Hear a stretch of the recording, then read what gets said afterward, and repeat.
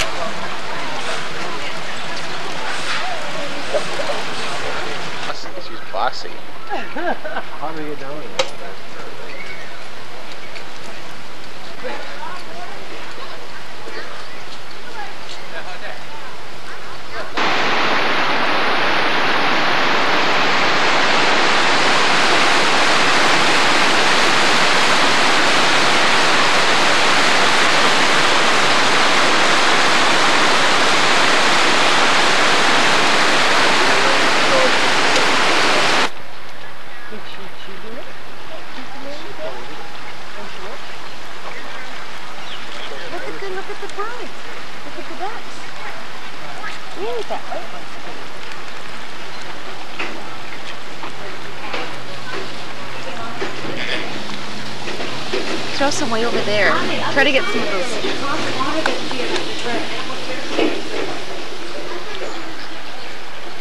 Look at the ducks. Look at them. You like the Look birdies? See the birdies?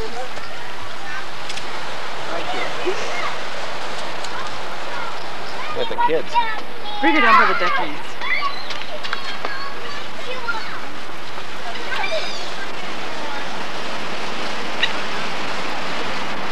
Oh, all this. Take Richard's picture Okay. with mine, up underneath there. The king of the hill. Gorilla. I think it's back the other way.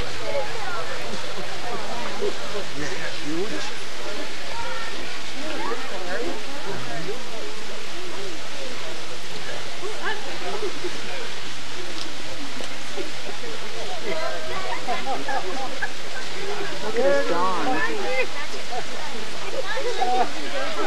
Chris, look at his donger.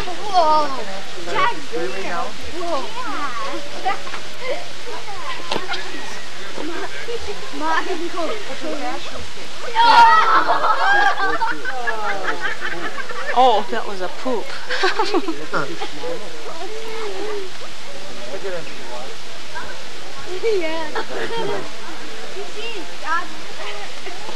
Aren't they funny?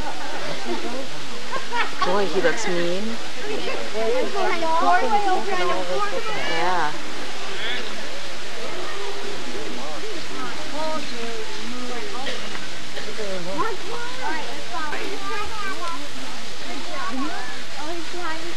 Look at this one coming down now. Yeah.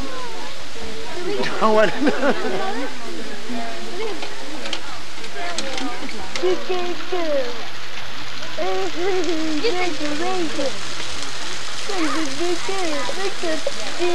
Coloring's pretty. What?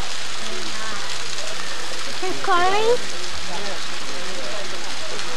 That boy? When... Uh-huh.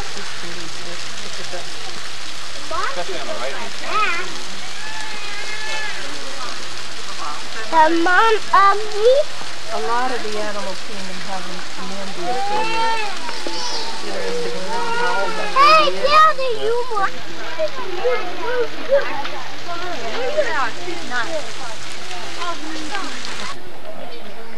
Put your arms up there. So everything's pretty close except for this. That's not the only thing, Chris. That's true. So they show what's really down here. Why? Cool, huh? It's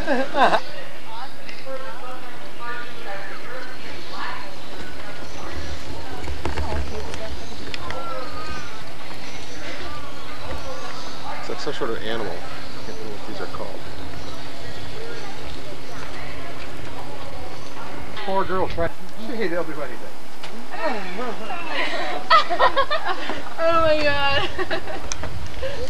Do it again. Look, he's going back in. Yeah, we're in a hurry. He's gonna go into the house. Oh my god. That's no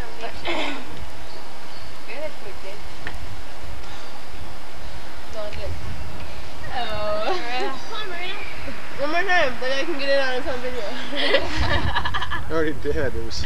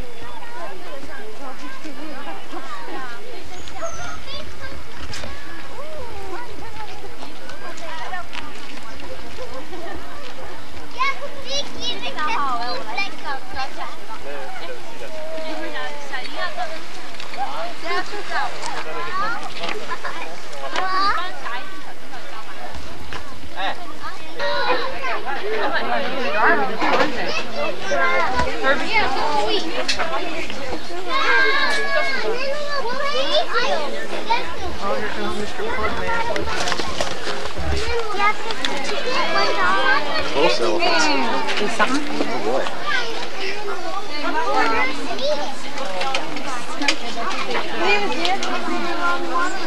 Looks like a boy to me, but I guess he is a man. We get to feed him now!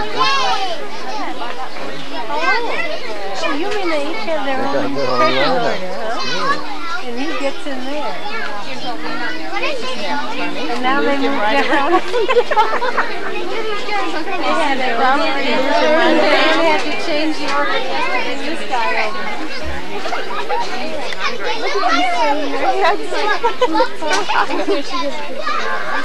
I'm pretty sure wouldn't do it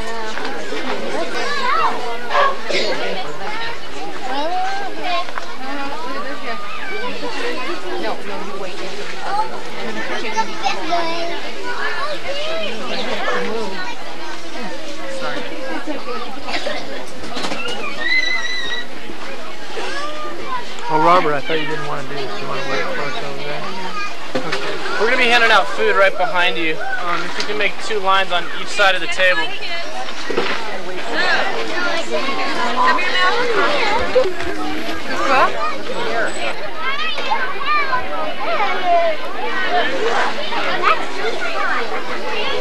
Don went to get you some food, so wait a minute. Okay, Mommy, I want to feed him. Here, here's good, Mom. Derek. Derek, over here. Hold it out. Here, baby. Here, Bob, where they at? Derek. Come on, sweetheart. Okay, come on. He's. No, no, no, because the elephant right here.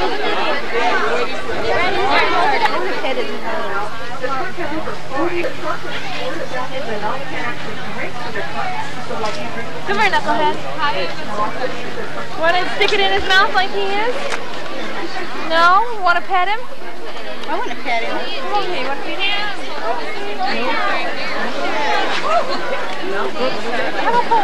didn't like that one. Stick out Be careful with the uh, camera case. In your hand, yeah. Go grab it. Be careful with that can too. Feet hold the can back. Like this. Take that. Come here, Crystal. Go, Kenny, watch.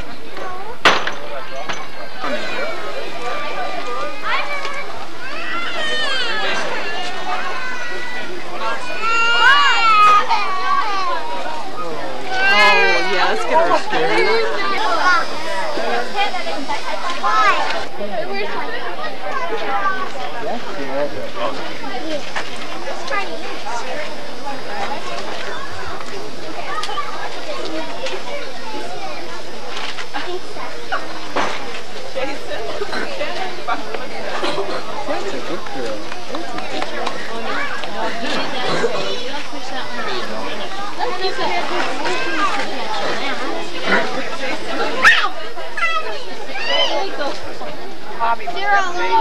Where's Poppy and the baby? Baby girl wants a picture of you, Teddy, with the animal. Yeah. Ah. Oh, yeah. That's right. The.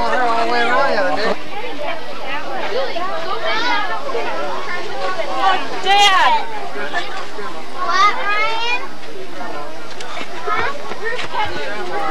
Melissa. Oh. Not me. Take a look at this kid's hat.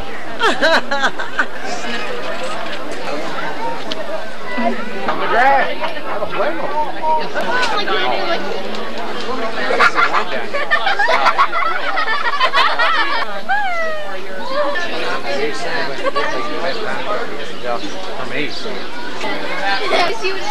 do you do, honey? He was looking at his like Superman. He was looking at his family. He was looking.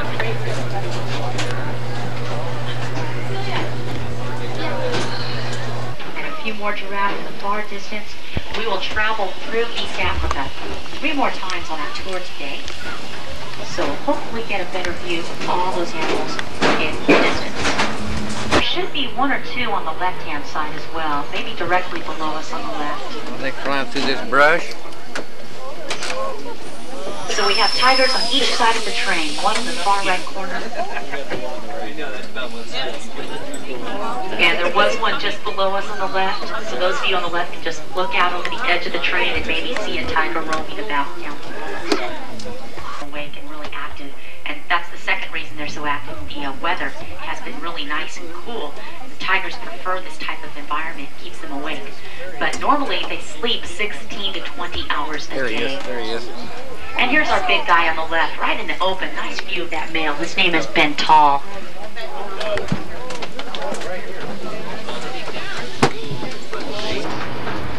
On the far hillside, you'll find Kenya Impala migrating down to the right side of the enclosure.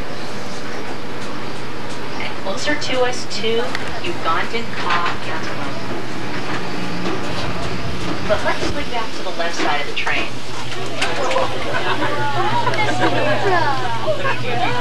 Really nice view. Well, maybe not the best view of most of our zebra right now. We kind of see the back end. But we get a nice view of the striping by the tail. I always like to talk about it. These are called the Grevy zebra, and they're known for the thumbprint type of pattern right by the tail area.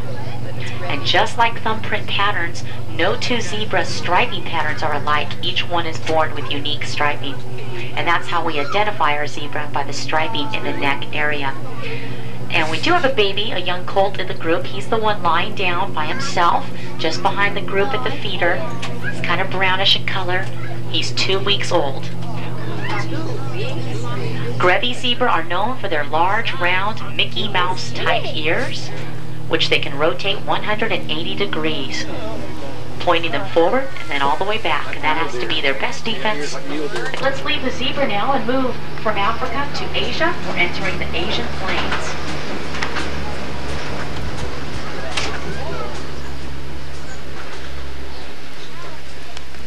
And the animals are really active at this time of day, so you did pick a nice time of day to ride the monorail.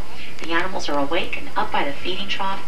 Closest to us are the Indian sambar deer. You'll find males with antlers and females or does without antlers.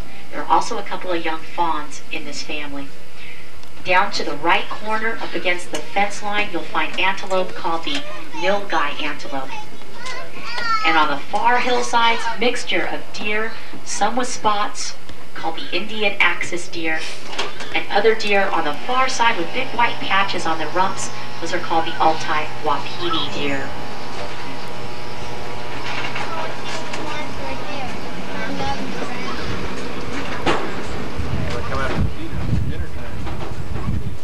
The left-hand side of the of the uh, train, an enclosure that's built kind of up high like a hillside, and that's because these animals come from the Himalayan plateaus where their elevations range between 15 and 17,000 feet. So we try to mimic this type of environment for them. They're called kiangs, one type of wild ass, and during the winter months when there's no food to be found, they have to survive on their body fat. During the spring and summer months, also on the left, the Persian onagers. Back to the right side of the train, you'll find the wild sheep down in the bottom of the enclosure, and also large wild cows called the Indian Gaur. There is a baby in the group. The little calf is in the middle of the herd by himself in the sandy wash. And he's about two months old, Indian Gaur. They stand close to six feet tall at the shoulder and weigh about 2,000 pounds when adults. About the size of a small car.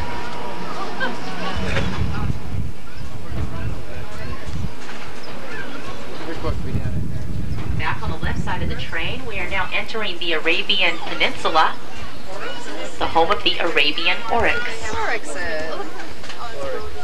And when you think of the animal park, you have to think of preservation of endangered species, and the oryx really sum up what this park is all about.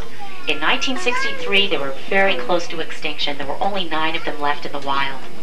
They were sent to the United States to start a breeding herd, and since 1963 we have had over 200 calves born in this group alone. We are now sending them back to the wild. At this time, there are approximately 30 Arabian oryx now in Oman and Jordan. So they are starting to rebuild their groups where they were once very, very close to extinction. When they turn their heads to the side, both horns look much like one, and with a white body and horse-like structure, that's where the unicorn myth was thought to have come from.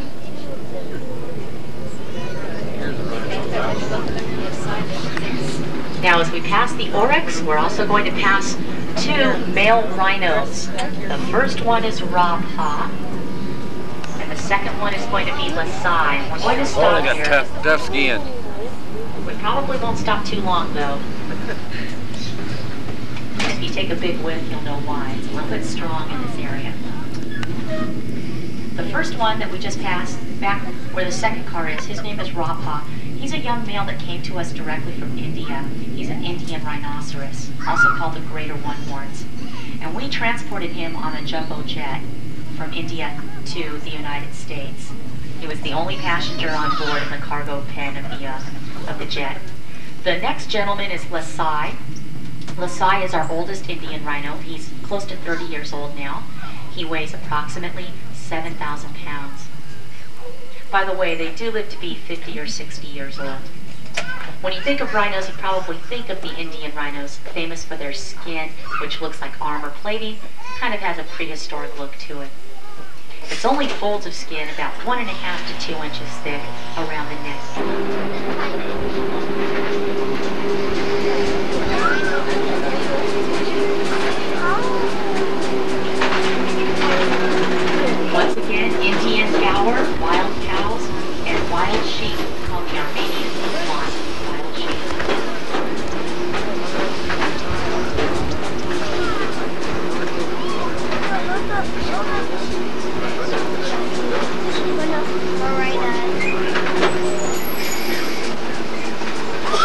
make a stop here for the mom and calf duo That ain't no baby anymore, is it? Believe it or not, this is a young calf with its mama. The mama's the big one. Her name is Gainda. Her baby's name is Gulpara. Gulpara was born about two years ago. He is the largest baby to be born in the Indian rhino family. He weighed 200 pounds at birth. He was the size of a baby elephant at birth. They usually only weigh about 100 pounds at birth, but he was quite large. Ooh. To give you some comparisons, moms on board, that would be about the size of a 15 pound baby for uh, humans. So he was quite large. The gestation period is 16 to 18 months. Once born, they nurse for two years, drinking about five quarts of their mama's milk a day. Down there. Two more down there. Uh, calf that's standing and walking, that's um, Jumia. Jumia is four years old. Her mama is sleeping below us. The one closest to us, her name is Jafori. She gave birth to a Jumia four years ago. And she gave birth to a baby boy a year and a half ago. His name is Joya, and he's lying right against his mama's side. And the father of all these babies, Lasai, the dominant male that we saw back in the holding pen. There is one black buck antelope, the dark brown antelope surrounded by the light brown females. And a couple of deer, European, um, excuse me, these are uh, Altai Wapiti deer. And that's just about going to do it for the Asian enclosure.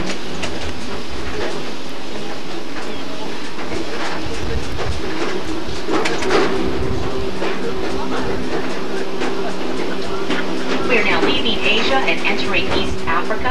Our largest enclosure, 120. It's one of our youngest animals in the park. There's a Ugandan kob calf. Its mom was just nursing it, and the baby's kind of following behind mom on the right. That baby was born five days ago. It's already bothering mom. Mom's trying to before I talk about the popular giraffe, I'd just like to point out on the left side of the train, we've entered North Africa, the home of our redneck gazelle, also called the Addra gazelle. And they're up on the left-hand side of the train. But back to the right-hand side. Not only are they popular, but they're pretty special animals, the Baringo giraffe. We have quite a few at the park, and the dominant male is the darkest one in this group, kind of walking away from us now. His name is Blackjack. 18 feet tall, and 20 years old now. They live to be about 30. 35 would be pushing it. You're going to notice Blackjack going to a log. We fill that log, it's hollow, but we fill it up with water every morning, so that's a drinking fountain for the giraffe. It makes it easier for them to drink standing up rather than having to bend over and drink from the pond. We also feed them standing up at the giraffe snack bars. We grow acacia trees and hang those from the snack bar and also give them alfalfa. You will notice a baby at the snack bar now next to its mom. We've had four born this year.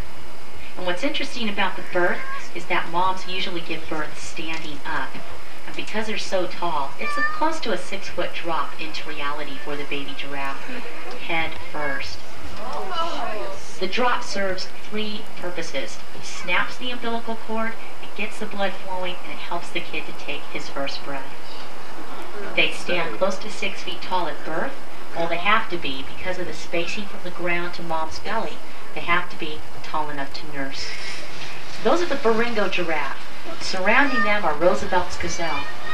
And directly below us there are two vultures that belong to the park. You'll see one right by the rock and one walking on the roadway.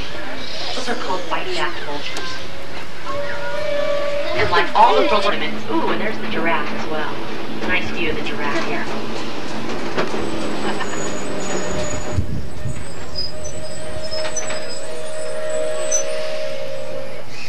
They're demonstrating how they pick up food from the ground. It's kind of an awkward position for them to spread their forelegs like that. Not only is it awkward, it kind of throws them off balance. You see, the giraffe has such a long neck and such a big heart they have to pump a lot of blood up that neck up to their brains. When they bend over like that, it kind of throws their equilibrium off when they pick their heads back up and look around. They usually stand there for a few seconds, and I believe it's just trying to focus their eyeballs and get a good view, and then they start to move on.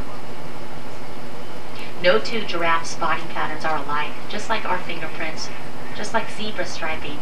Each giraffe born with unique spotting patterns. And they have been hunted through the years for their coats, for sport, and also for their long tails, which unfortunately have been sold throughout the world as fly swatters. It was thought to be a sign of royalty and wealth to own a giraffe or even a wildebeest tail and use it as a fly swatter. A really nice view of them. They rarely come up to this section, usually only at this time of day, so you did pick a nice time to ride. And back on the left side, I don't want to miss them. There are some scimitar horned oryx up on the hill. So you can look over your left shoulder and find them. On this log, and surrounding the vulture, the marabou stork, and also all the white birds. Those are freeloaders native to California. Those are cattle chickens. And Sitatunga antelope on the right. That's going to do it for East Africa until the end of the tour. Back on the left side in North Africa, look for the big rhinoceros that's sleeping by himself. Nice profile view of Dinka. And he represents the most endangered of all the rhinos, the northern white rhinoceros. There are only about 30 of those left in the world. Hunted for the obvious reason for their horn. And Dinka has two horns. The top one is 20 inches long, the bottom one about 24 inches long. He weighs close to 7,000 pounds.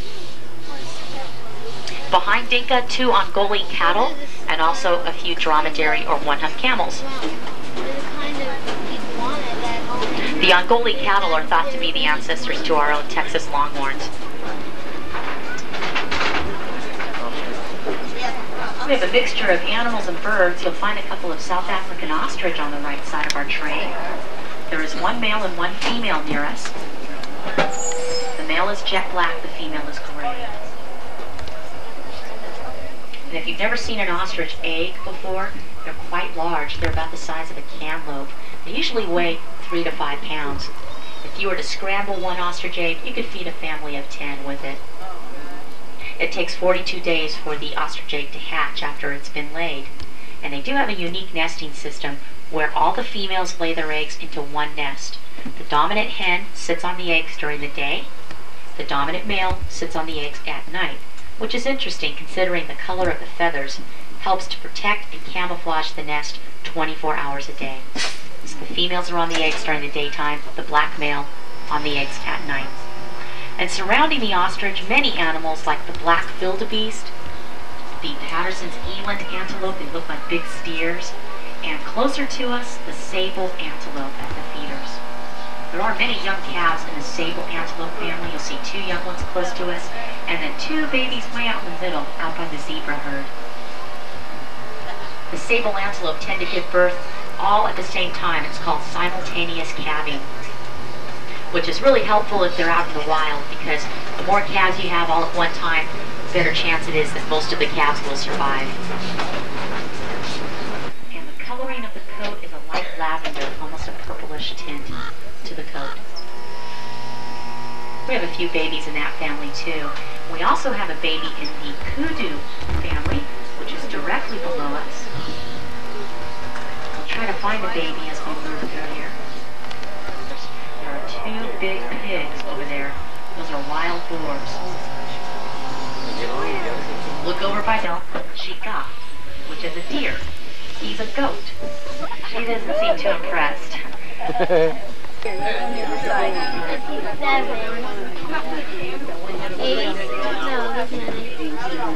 There is one walking down the hill, left side of the hill, just above eye level. And then there's a couple just right out by the front of the monorail. If you look all the way up front and then to the left, just out at which hooks over the bottom lip, kind of a funny little hook to the lip. When he lifts his head, you may be able to see that. Amazing to me that people would even consider killing these animals, but they have been hunted through the years for their coats, for sport, and often for their tails, as I might have mentioned earlier, which were sold as fly swatters in many parts of the world. Once again, it was a sign of royalty and wealth to own one of those tails. You can look at their spotting patterns. No two spotting patterns are alike. In fact, each species of giraffe is different because of the spotting pattern. The Baringo giraffe kind of have a kind of a jigsaw type of Oh, look at the smile and everything. Ashley! Ashley! Okay, now take a picture there.